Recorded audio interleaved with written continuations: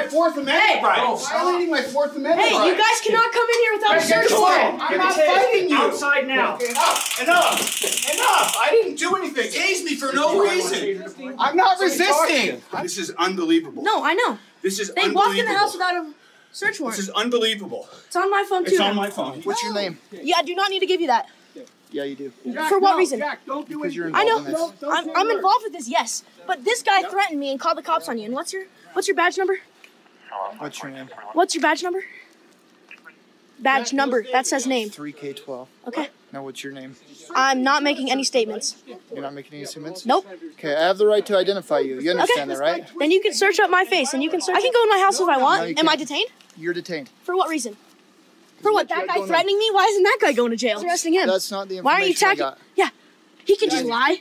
Literally in my space, and this guy's just touching me. I didn't touch you at all. I have it on video.